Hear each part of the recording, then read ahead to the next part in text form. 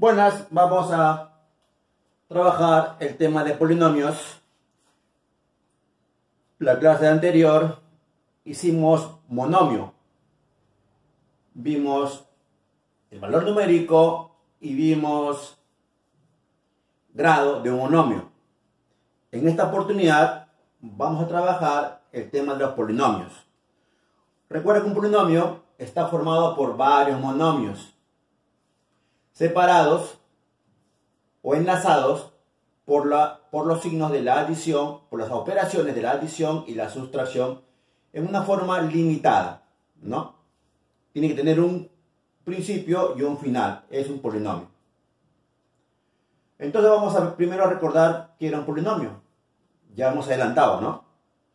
Es una EARE. E. ¿Qué cosa es EARE? E? Significa expresión algebraica racional entera. Repito, expresión algebraica racional entera. Es importante esa definición porque de repente una, una de teoría no puede preguntarse eso, ¿no? Entonces, repito, es una expresión algebraica racional entera. ¿Cuáles son sus principales características? Acá tenemos como hace un rato dijimos, igual que los monomios, los exponentes son números enteros y positivos, ¿correcto? Enteros y positivos. No puede ser ni fracción ni negativo. Y tiene que haber raíz arriba, no. Números enteros y positivos. Y otra característica dice que tiene una cantidad finita de términos. Como, como te dije hace un momento, tiene que tener un, origen y un final. Se pueden contar cuántos elementos hay, cuántos términos hay. Y cada término son monomios, ¿no? estas son las principales características de un polinomio que tú debes recordar siempre, ¿ya? Acá tenemos ejemplos ¿eh? de polinomios. Primer ejemplo, con una variable, recuerda que se llama, ¿cómo se llama esto? La notación, ¿verdad? Que indica el nombre del polinomio, se llama P, y, indica, e indica quién es la variable, X. Acá el nombre del polinomio es R, y esto que indica que las variables son la X y la Y, ¿no? Polinomio en una variable, acá está el ejemplo, ¿ve? 5 por x a la cuarta más 3 por x al cuadrado menos 7 por x a la sexta y menos 9. Ahí está mi polinomio. Un ejemplo, ¿eh? ¿Cuántos términos hay? Contemos. 1, 2, 3, 4. Hay cuatro términos. Y mira los exponentes, ¿ve? Los exponentes son el 4, el 2 y el 6. ¿Y cuál es el exponente de este compadrito que no tiene ni una letra? Ah, cuando no tiene ni una letra, la variable no está al costado, él es el exponente 0. Acá está x a la 0. ¿Ya? Pero no se coloca porque es 1. Y 1 por 9 es 9. No, pasa nada. ahí tenemos un ejemplo de polinomio de cuatro términos. ¿Correcto? Cuatro términos. Acá, el 5, el 3, el menos 7 y el menos 9 se llaman coeficientes. Repito, el 5, el 3, el menos 7 y el menos 9 se llaman coeficientes. ¿Ya? Pero acá hay un coeficiente especial. ¿Cuál es? El último.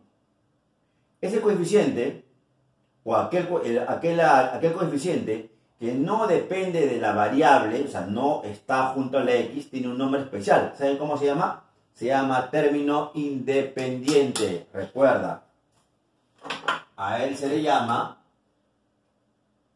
a él se le llama también término independiente.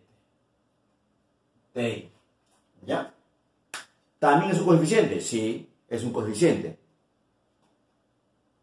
Y también denominado término independiente. ¿Ya? Listo. El segundo ejemplo, en dos variables, un tercio x y al cubo más 6x al cuadrado y a la cuarta menos x a la quinta por y. Acá tenemos ¿Cuántos términos? Contemos. 1, 2 y 3. ¿Quién los separa? la adición y la sustracción. Son tres monomios, ¿verdad? Ahí está, ¿ve? ¿Quiénes son los coeficientes? Un tercio, 6, menos quién? ¿Menos x? No, menos 1. Recuerda que hay un 1 ahí, ¿no? Hay un 1 ahí. Está el 1. Menos 1. Un tercio, 6 y menos 1 son los coeficientes. ¿Hay independiente? ¿Hay TI? No hay TI, ¿no es cierto? No hay. Entonces, ahí tenemos polinomios con dos variables. Puede haber con 3, con 4, ¿no? No hay problema. Entonces ya hemos visto lo que es un polinomio. Ahora vamos a ver su valor numérico. Bn. Recuerda igual que en el monomio, ¿no? ¿No es cierto? A la variable tú le pones un número, ¿no? En forma correspondiente, reemplazas en la expresión, lo efectúas como una operación combinada y lo que sale es el valor numérico. Así es sencillo, ¿no? Ejemplo, mira, ver. Tengo un polinomio que se llama R, variables x, y, y acá está mi polinomio, ¿ve? 2x al cuadrado menos y al cubo. Dos términos. Nada más dos términos. Te piden cuánto vale, o evaluar R menos 3 con menos 2. Ajá, o sea, x vale menos 3, y vale menos 2. ¿Cuánto vale esta expresión cuando al x lo reemplaza por menos 3 y al y lo reemplaza por menos 2? Eso es todo. Entonces empezamos. Acá tenemos lo siguiente. Vamos a reemplazar, ¿no? Entonces quedaría así. R de menos 3 con menos 2 es igual. Reemplaza 2 veces quién? X equivale a menos 3 al cuadrado, ¿no? Menos Y. ¿Cuánto vale Y? Menos 2. Menos 2 al cubo. Ahí está, muchacho, ¿ve? Ya reemplacé. Nada más. Salió el jugador X y entró el jugador menos 3. Salió el jugador Y y entró el jugador menos 2. Ahí está. ¿Y qué queda, chicos? Simplemente hacer operaciones combinadas. Perfecto. Operar. Ahora sí hay que recordar, ¿no? Dos veces cuánto, ¿ver? Negativo exponente par, se va el signo. ¿Y quién queda? 3 al cuadrado, 9.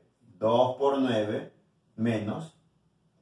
Negativo exponente impar, negativo. Uy, entonces vamos a colocar paréntesis, negativo. Y 2 al cubo es 8. 2 por 2 por 2, 8. ¿Ves? No te confundas. ¿ah? Ya, pues, ¿cuánto quedaría acá? 2 por 9, ¿cuánto es? 2 por 9 es 18. Menos con menos, recuerda, este es más 8. Entonces, la respuesta ya lo estás observando, ¿no? ¿Cuánta es la respuesta? 26. Ahí está. Entonces, el valor numérico de esta expresión para estos valores sale 26. Así de sencillo, ¿no? Eso es el valor numérico, ¿ya? Ahora vamos a ver el grado, pero, pero para polinomio. La clase pasada hicimos para monomio, ahora hacemos para polinomio. Igual hacemos grado relativo y grado absoluto. ¿No es cierto?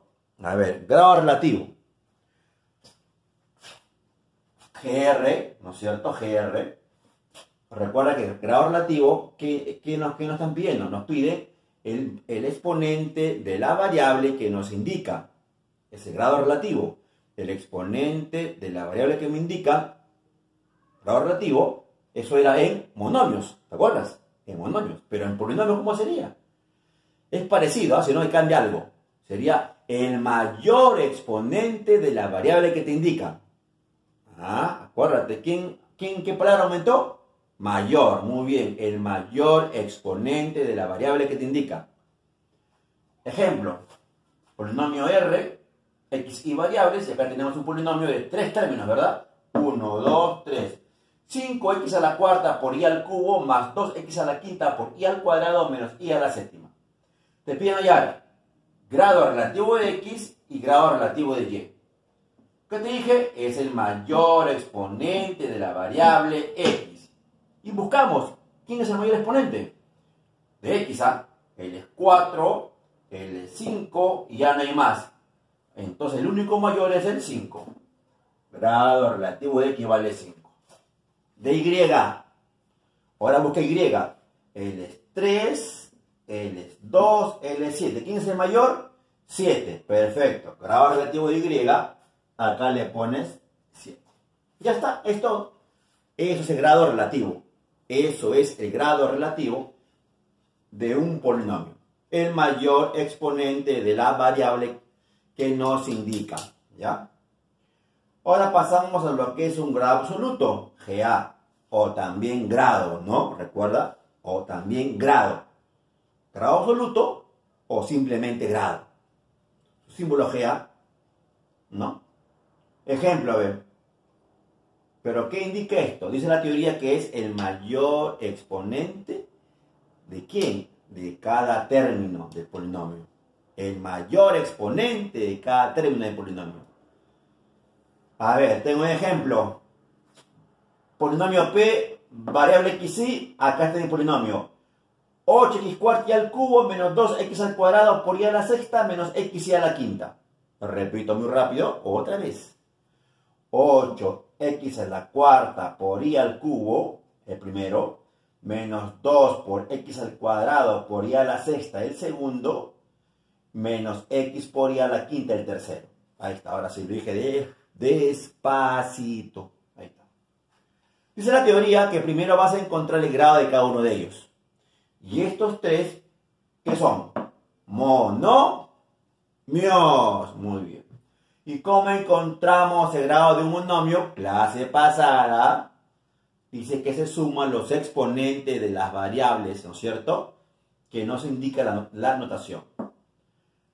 Pues, el primero, su grado absoluto, ¿quién sería? Sumo los exponentes. ¿De quién? De las variables. 4 más 3. ¿Cuánto es? 7. Acá ponemos 4 más 3 es 7. Ahí está el grado del primero. Del segundo, ¿qué sumo? 2 más cuánto? 2 más 6 es igual a 8. 2 más 6 igual a 8. Y el último, ¿quién sumo? 5. ¿Con quién sumo, profe? No veo. Sí, acá está. ¿Quién está ahí? Invisible. 1. Muy bien. Y 1 más 5 es igual a 6. Y ahí tenemos el grado de cada uno de ellos. ¿Y qué te piden? El grado absoluto. ¿Y qué dice la teoría? Es el mayor de los grados que tú ves ahí. ¿Y quién es el mayor? 7, 8, 6, el mayor es 8. Entonces el grado absoluto es simplemente 8. O sea que este polinomio es de octavo grado. ¿no? Entonces eso es grado para polinomio. ¿Ya? Muy bien. ya tenemos la teoría. Valor numérico. Grado. Y ahora sí pasamos a los ejercicios, ¿correcto? Para que puedas tú desarrollar tu tareita y tu quiz. Por favor, haz bien tu quiz. ¿ah? Ya, ahora vemos los problemas. Regresamos.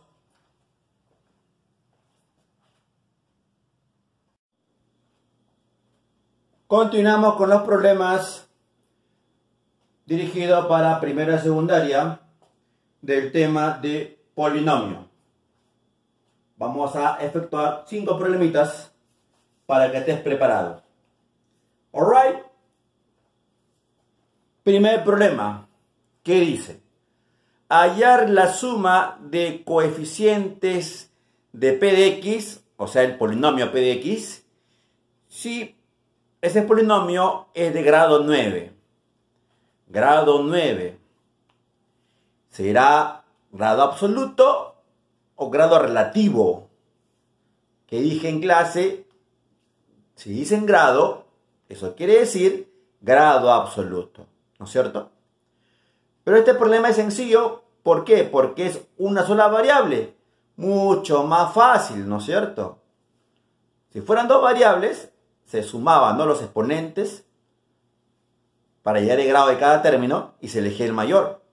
Pero en esta oportunidad tenemos solo una variable y es más fácil. ¿Sabes por qué? Porque si es una variable, solamente vamos a ver quién tiene el exponente mayor.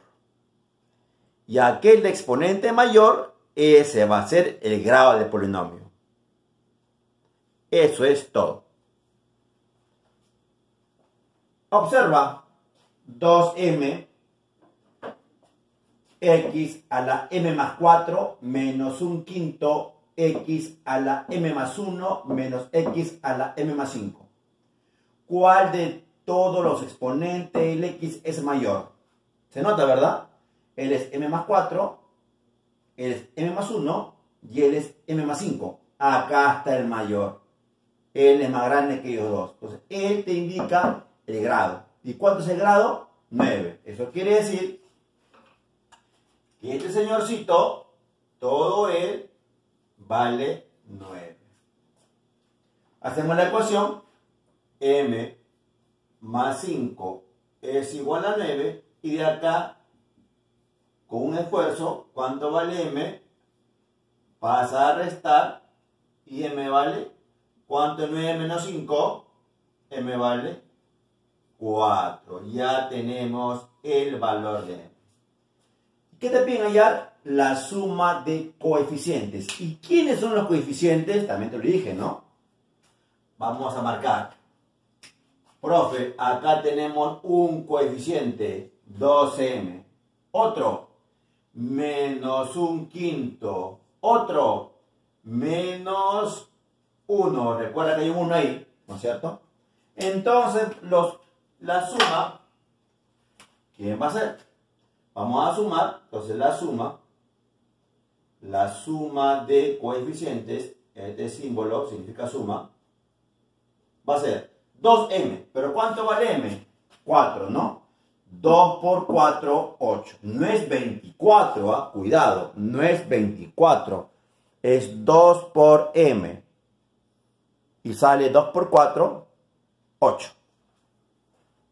8. Menos un quinto, ahí está, y menos 1, ahí está. Y eso, chicos, hay que efectuar. Nada más, 8 menos un quinto y menos 1. ¿Cómo puedo hacer esto más rápido? Eh? Primero vamos a restar los números conocidos o enteros. 8 menos 1, 7. 7 menos un quinto. Y ahí pues sencillo, ¿no? Primaria. ¿Cuánto es 7 menos un quinto? ¿Te acuerdas? Él, con él se multiplicaba y con él se restaba, porque dice menos, ¿no? Entonces, ¿cuál sería la suma de los coeficientes? ¿Cuánto es? A ver. Vamos. Díctame. Díctame. Participa. Estoy escuchando. ¿ah? 5 por 7, 35 menos 1, 34 ¿qué? 34 sobre 5. Y ahí está la cosa. No se puede dividir, ahí queda, ¿no es cierto? Muy bien, entonces ahí tenemos la respuesta número 1. Pregunta número 2. Dice, hallar R evaluado en 4, o sea, R de 4, si se sabe que R de X es igual a 2 veces X más 3 por X menos 2 más X menos 1 y todo está elevado al cuadrado. Correcto, ahí dice eso, ¿no? Está pasando el helicóptero, se está llevando al virus por ahí, ¿no? Continuamos. Es, entonces simplemente vamos a reemplazar, ¿no? Que ponga en vez de X, ¿por quién reemplazamos? Por el número 4, que es lo que me están pidiendo. Hallar R de 4. ¿Listo? Reemplazamos. Entonces, R de 4, ¿a qué va a ser igual?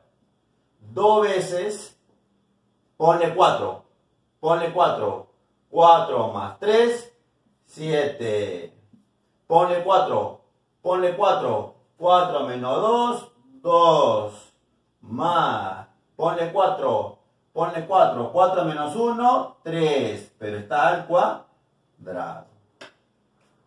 Así es sencillo. En todas las X lo has cambiado por el número 4, porque te dicen a ti eso, que X valga 4 es una orden y tú lo cumples. ¿Qué queda muchachos? Simplemente efectuar, ¿no? 2 por 7, 14 y 14 por 2, 28. Más 3 al cuadrado, 9. ¿Y cuánto es 28 más 9? A ver con tus dedos. 37. Correcto, sale 37. Y ese es R de 4, ¿no? El polinomio evaluado en 4. Solamente reemplazado y efectuado las operaciones combinadas. Finish para el problema número 2. Question number 3. Repeat, repeat. Question number 3. Calcular t de 5a y 3a sabiendo que t, hasta las variables, x cubo menos y cubo menos 3x por y por x menos y. Ahí está, ¿ven? Mira qué interesante. Profe, ahora, ¿qué pongo en vez de x? 5a. ¿Qué pongo en vez de y? 3a. Y se acabó. ¿No? Pero profe, muy largo. Sí, puede ser, ¿no? Saldría más rápido si tú supieras las fórmulas, creo que ya las has visto, pero te has olvidado, la fórmula de productos notables, un tema que vamos a ver después. Con esa formulita saldría esto mucho más rápido, muchachos, mucho más rápido para no estar reemplazando, ¿no? Para no estar reemplazando. Pero tienes que recordar esa formulita, ¿no? Esa formulita. Mira, si tú supieras la formulita, creo que la, te acuerdas, ¿no? Pero vamos a recordar. Vamos a recordar. Todo esto que está acá, todo esto que está acá es conocido. Eso es x menos y al cubo. Eso es todo. X menos y al cubo. Y más fácil, ¿no es cierto? Miren, fácil. x vale 5a 5a y vale 3a, 3a al cubo. 5 menos 3, 2a al cubo, se reparte el cubo, 8a cubo es la respuesta. Así de rapidito, pero sabiendo la formulita. Pero como no estamos, estamos reemplazando, vamos a hacerlo así, ¿no? Vamos a decir verdad y si es el 8a cubo. Vamos a decir verdad borramos esto. No borre, profe. Vamos a borrar para hacer la forma tradicional, ¿no? Ya cuando tú domines los, los productos notables, ya lo haces más rápido, ¿no? A ver, vamos a ver si es verdad que sale 8 a cubo, ¿ya? A ver, reemplazamos, muchachos. Entonces, T de 5A con 3A, ¿a qué es igual? Reemplaza 5A al cubo menos 3a al cubo menos 3 veces 5a por 3a y x menos y, o sea, restar 5a menos 3a. Como no hay espacio, y no me lo hacemos de frente, ¿ya? Resta, ¿cuánto es 5a menos 3a? 2a, muy bien. 2a. Ahí está. Ya reemplacé, ¿ah? Ya, ya reemplacé. Ahora solo queda operar. A ver, vamos a ver. Sigamos. Entonces T de 5A con 3A es igual. ¿Cuánto vale esto? 5 al cubo, 125A al cubo. Menos 3A al cubo, 27A al cubo. Menos, y acá hay que multiplicar, ¿no? Acá sí hay que multiplicar, chicos, ¿ah? Acá tienes 5 por 3 son 15. 15 por 2 son 30. 30 por 3, 90. 90. A por A por A. A al cubo. Perfecto. 90 al cubo. Ya. Simplemente ahora quedaría restar y lo que sale es la RPTA, ¿no? Entonces tenemos que T de 5A con 3A, ¿a qué crees que va a ser igual eso? Vamos a restar 125 menos 27 y menos 90. Y sale 8A al cubo. Y ahí está, chicos, justo lo que hemos visto hace un rato, ¿no? Pero usando los productos notables. Y acá lo hemos hecho reemplazando, ¿no? Si conoce los productos notables, sale mucho más sencillo, ¿no es cierto? Ese es el problema 3. Ahora viene el problema 4. Question number Tawa. Question number Tawa. ¿Por qué Tawa? Acuérdate los cuatro suyos, ¿no? Tawantin suyo, cuatro suyos. 4 en quechua es Tawa. Sabiendo que P es 7x a la quinta menos 4x cubo más 5 y Q es un tercio x a la 2020 de este año, ¿eh? Menos 9x a la 19. 19, 19. Viene de, ah, el nombre, ¿no? Lo que no estamos preocupados, ¿no? Pero, ah, que sigue adelante. Tú puedes. Más 4. Te piden cuánto vale P0 sobre Q0. O sea que en P, ¿qué le pones a las X? El número 0. Correcto. En todas las X le pones el número 0. Entonces, ¿cuánto vale P0? Pues P0 hay que ser igual. Ahí pone 0 mentalmente nomás. 7 por 0 a la quinta menos 4 por 0 al cubo más 5 solito. Pero como acá hay 0, 0 a la quinta, 0. Por 7, 0, se fue. 0 al cubo, 0. Por 4, 0, se fue. ¿Quién sobró? Solamente el 5. Ah, ya, profe. Solamente quedó el 5. ¿Ya sabes por qué? Te dije, ¿ah? te repito. 7 por 0 a la quinta, sale 0. 4 por 0 al cubo, sale 0. 0 menos 0 sale 0. ¿Y quién sobró? El 5. De la misma manera, hacemos el Q. Ahora en Q reemplazamos 0. Y otra vez, mira, ve. Un tercio por 0 a la 2020 menos 9 por 0 a la 19.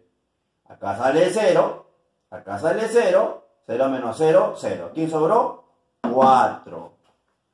Por lo tanto, chicos, ¿cuál es la RPTA? Te piden la división. 5 cuartos. Recontra fácil, ¿no es cierto? Claro, profe. ¿Así quieren para la prueba? Sí. Bueno, ya, vamos a ver, ¿no? Pero ahí está, ¿ves? Recontra sencillo. Muy bien, ahora vamos, hacemos, falta un problemita más para acabar esto, ¿no? Vamos a ponerlo por acá. Vamos a ver por acá, mientras vamos borrando. Vamos al quinto problema, para que ya tengas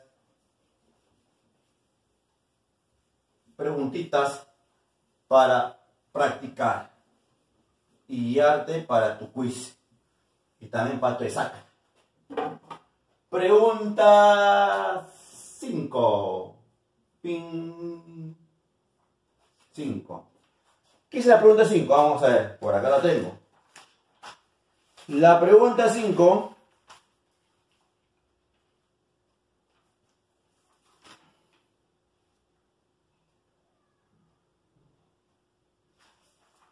¿Qué me está diciendo? A ver, por acá lo tengo. Acá está, dice. Del siguiente polinomio,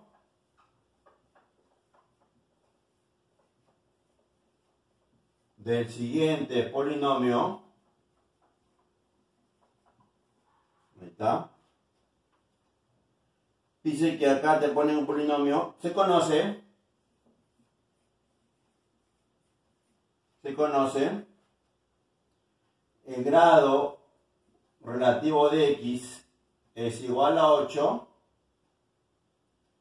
y el grado relativo de y es igual a 4. ¿Correcto? Y acá te ponen el polinomio. Polinomio que se llama f de variable x y 5x a la m menos 2 más 7x a la m más 1 por i a la n menos 4, ahí está, y a la n menos 4 por acá, y al final dices más 5, al final dice más 5, no va a alcanzar, borramos por acá, esto ya lo hemos, ya hemos estudiado, ya lo hemos practicado,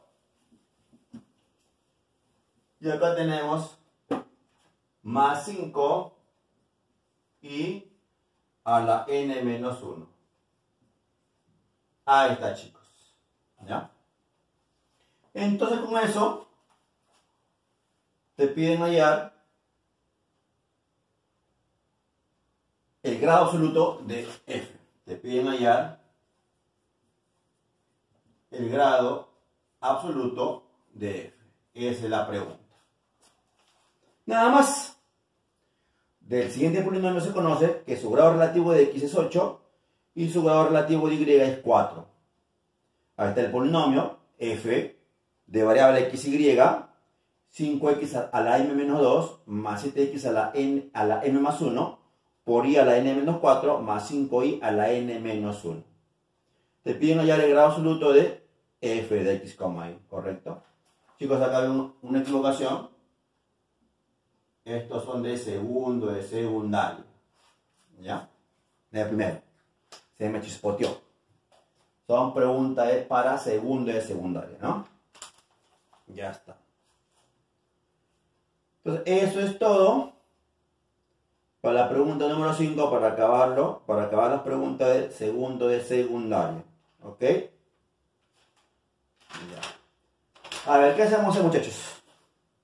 Ideas por acá para no confundirnos, para no estar confuso. Ya.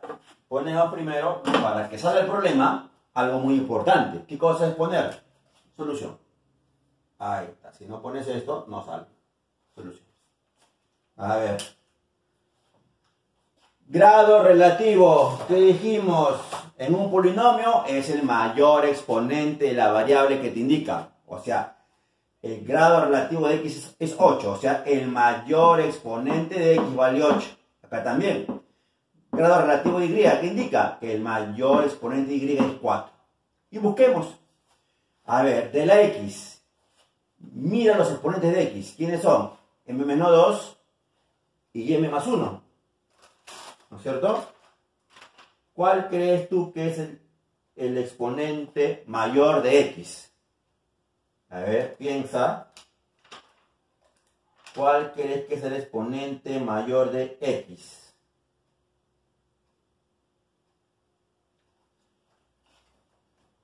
m menos 2, m más 1. ¿Cuál es el mayor? m más 1. Perfecto. Porque él es positivo y él es negativo. Él es mayor. Entonces, él debe ser cuánto? 8. Porque él es el mayor. Solamente de la x. Lo ponemos m más 1 debe ser igual a 8. Y de acá automáticamente, ¿cuánto vale m? m vale 7. Ya está, ya tenemos m. Ahora quieren de f, de i. O sea, el mayor exponente de y es 4. Vamos a ver los exponentes y, ¿ya? ¿Quiénes son? n menos 4 y n menos 1. ¿Quién es mayor?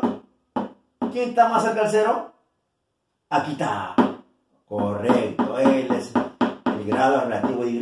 N menos 1. Y eso es igual a 4. Porque es ese grado que me está indicando. Entonces, N menos 1 es igual a 4. Y de acá, muchachos, ¿cuánto vale N? Pasa a sumar 5. Muy bien. 5. Ya tenemos M y N. Ahora simplemente si quieres reemplazas, ¿no? Ahí vamos a reemplazar vamos a reemplazar, a ver, reemplazamos 5x a la cuánto? m menos 2, pero como m vale, m vale 5, digo 7, m vale 7, 7 menos 2, 5. 5. Más 7x, m más 1, como m vale 7, más 1, 8. Por i n menos 4, pero como n vale 5, 5 menos 4, 1, ya no pongo nada. Y al final, otro 5, ¿ves? A la n menos 1. Como n vale 5, menos 1, 4. Listo, muchachos. Y ahí está. Y ahora, ¿cuál sería su grado absoluto? Que dije, les dije en la teoría. Grado del primero, T1, primer término. El único exponente, 5. Grado del segundo término, dos variables, 8 más 1, 9. Acuérdate que sumar los exponentes. Y grado del tercero, exponente de y, solamente el 4. Por lo tanto, chicos, ¿cuál es el exponente, cuál es el grado mayor? El 9. Ajá, recuerda que en grado para un polinomio es el mayor grado de cada término, ¿no? Entonces, es 9. La respuesta final, grado absoluto, es igual a 9. Ya está. Entonces, chicos, ya hemos visto los problemas para segundo de secundaria ¿Ya? Segunda secundaria, olvídate, primero puse primero, ¿no? repito. Este, era, eh, hace un momento puse primero de secundaria, ¿no? Pero lapsus brutus era para segunda secundaria, ¿ya? Entonces, eso es los problemas que ustedes van a repasar para tu quiz, ¿ok?